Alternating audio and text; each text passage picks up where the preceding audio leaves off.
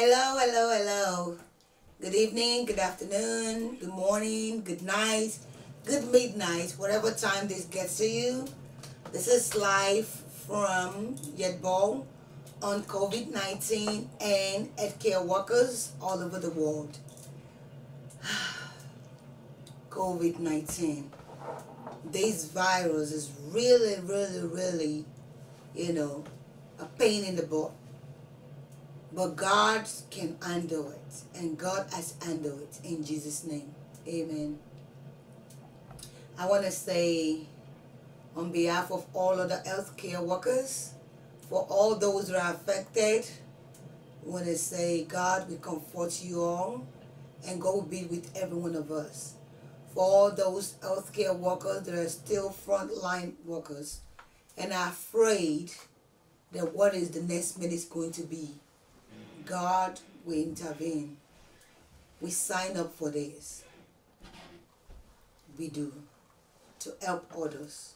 That's where our heart is, and that's where our compassion is. And that's where the reason why we're healthcare workers. Healthcare workers as a doctor, a physician assistant, a nurse, uh, advanced nurses, um, GNAs. Right now, it doesn't matter which title you have. We are all frontline workers. And also to our dedicated social workers, Mr. Lee, Wheated, Miss Marjorie. I know you guys are working your butt off. And to all those people that are one way or the other working with the healthcare system, I want to say thank you. Thank you, thank you, thank you. And God is the only one who can repay you regardless of the money they're to give, it doesn't worth somebody's life. But I compare it to the militaries who sign up to help a country. And when it's time for them to be deployed, they are deployed to work, to fight, to stay as frontline person for their countries. Some make it back, some don't.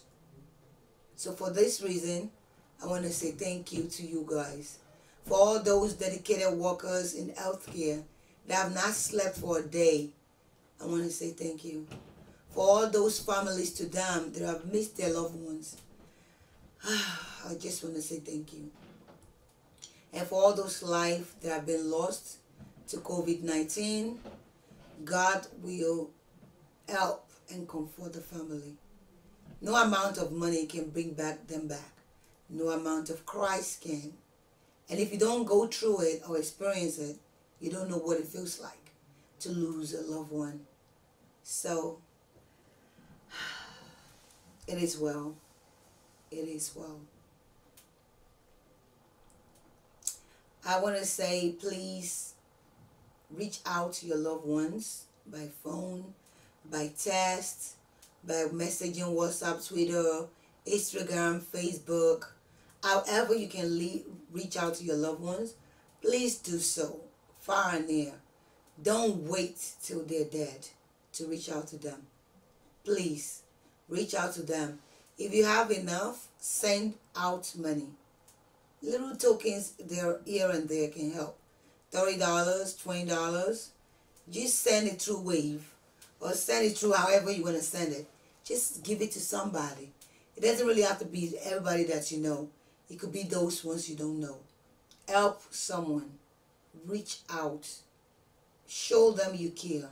Please. A minute from now is not promising to any one of us.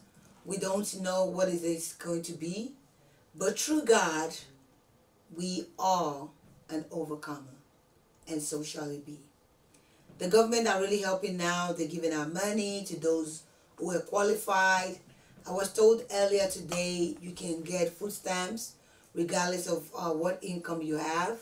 I'm not sure, but I have uh, the website and we will post after so you can uh, ask for assistance. The only problem that I'm not sure if you have to call because right now, trust me, you wait on line with calls too. And when you wait in line, it takes forever. If you don't have the patience, then you're not going to be successful. So please have the patience to be able to stay for someone to help you. And if you have to go online, please go online.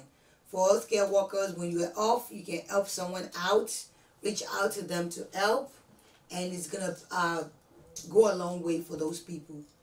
It will, it will. So please do that. I also uh, want to use this opportunity to say uh, to pray, fast, meditate, whatever you believe in, you have to be steadfast with. God has done it before, He will do it again. Please don't kill yourself. Please do not commit suicide. Don't even have the thought of it to do it. Life is too sweet. You know, dress up, praise God, worship God, act like you're going out. I will tell you a little story. Uh, this is my uh, play mother, uh, Elder uh, Maxine Freeman. On Sunday, which was Easter, she dressed up and she said, I'm on my way to church. I was going through a page and I saw it. And she came to our living room. She joined a church online and she participated. She was joyful, she danced. It was like she was in church herself. How many of you are doing this? There's so many churches now online, they're streaming. Please join them. If you don't want to join your church, you don't have to. But you could join another church. You could join whichever one you choose to do. But don't just sit in the house and doll yourself up. Don't just sit in the house and keep going to the refrigerator like one of my sisters is constantly doing. You're going to gain weight. And if you look at the statistics out there, it's affecting black African Americans more in the sense that there are so many underlying diseases that some of us know we have or that we don't even know we have. So it's making it as a causer for these COVID-19 to come on you and manifest itself because we are now watching what we are doing. Exercise. If you have treadmill in your house, go use it. Don't be like me that just watch it and just walk away. Watch what you are eating. Portion everything you're consuming. Don't eat too much. If you're hypertensive, cut back on your salt. Exercise, fast for a couple of hours, Heat vegetables, healthy diet, and drink a lot of water. It starts from the uh, from the airway and it sticks sticks to your throat for a couple of days before it goes down to your lungs and start dominating. Please gargle, use salt water. There's so many remedy out there. I can't tell you which one really works. All I know is that and when you're in the shower, you can run water. I do that too. It helps, it suits, you know, and gargle your throat, you know, and with salt water or with ordinary water. Try to drink a lot of um, hot tea, chocolates, things that is going to wash down, even if you're perceiving that you have symptoms. So please, some people are carriers and they're not manifesting any symptoms. And some people have it and because of underlying diseases like diabetes, hypertension, any uh, heart problems, or any respiratory problems, it's jump, it's kick-started, and that's it. So please, have your inhalers and make sure you abide by your regimen. Don't be a non-compliance person. Stay home if you don't have to go out. If you really have to go out, then go out. If you don't have to go out, stay in your various houses. Clean, clean, clean. Get bleach wipes. If there's no bleach wipes, get your little um, Clorox, dilute it with water. Wipe down surfaces. Wipe down stairwells. Wipe down places. You healthcare workers, when you come home, do not come home with your uniform. Change it and make sure you put your shoe out or you change your shoe at work so you don't infect people in the house. Please do little things that can keep you safe. Healthcare workers, you are frontline people. Please help your family out. Your immune system can be great. One of the ones that you're home with.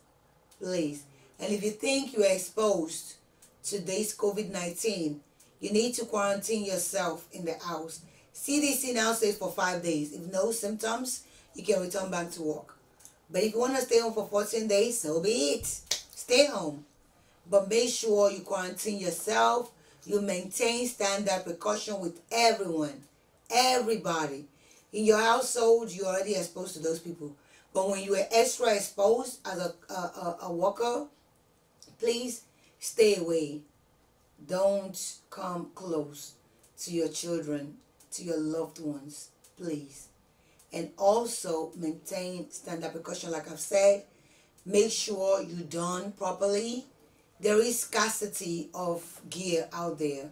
So if you know how to sew facial mask, help out. It's not really going to stop the spread, but it's going to reduce it. The N95 really works if you work directly with people who are already positive for COVID or who are presumptive positive.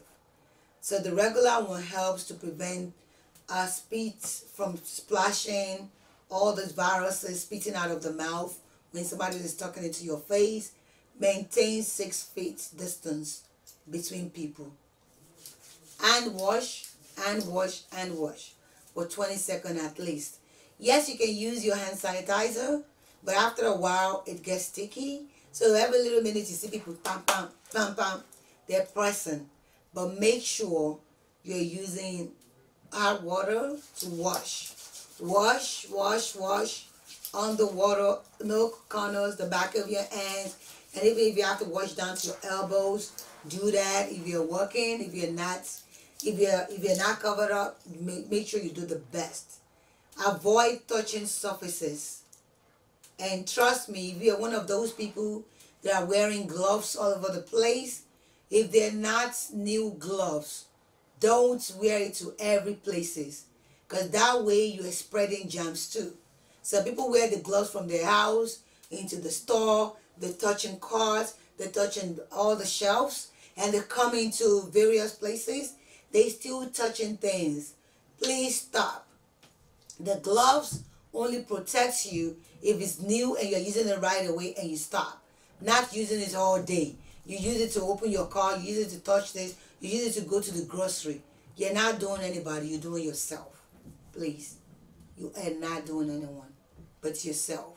Make sure they're clean gloves and maintain standard precaution and clean. Use the time in your house to do some cleaning, to do some cleansing of the heart, and to do some redemption within you and ask God to change you and reach out to your loved ones.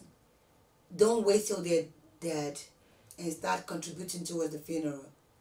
Be there for them now that they're with us. They're with you. Call them, text them, tell them you love them, and it will go a long way. People don't have to believe you love people, but the little things you do for people will make people know you love them. However way you do it, make sure it's genuine from your heart, and God will help us all.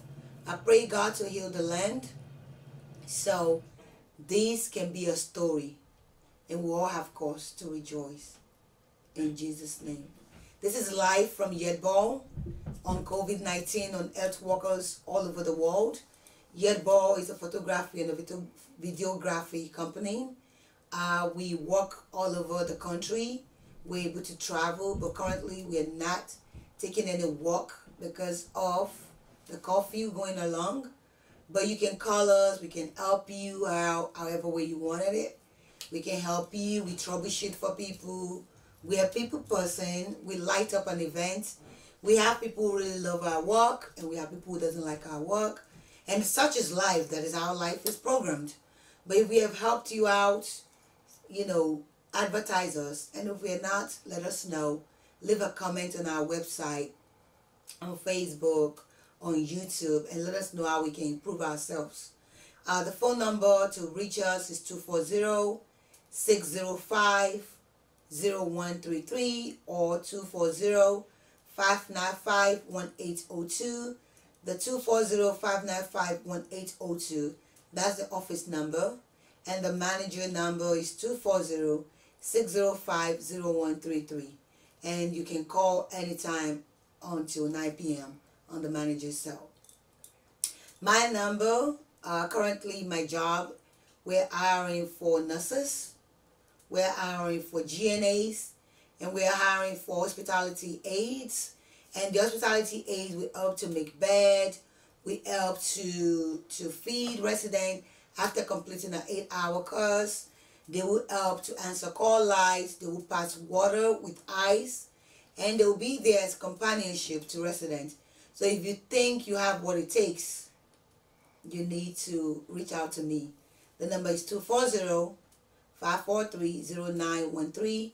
240-543-0913. Please, you only reach me related to business, nothing more. I'm already taken, I'm already occupied, and I'm not for sale.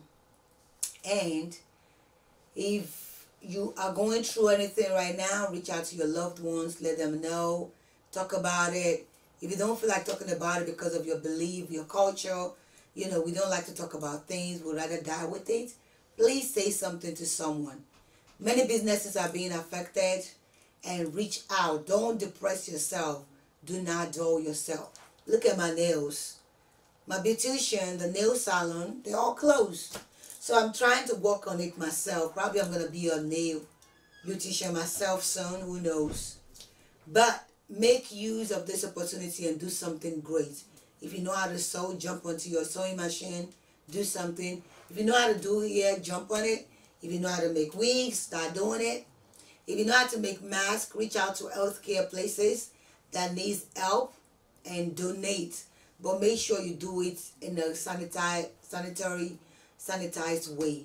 You know, that you don't have to infect people. If you are COVID positive, please don't donate. Please do not donate to anyone.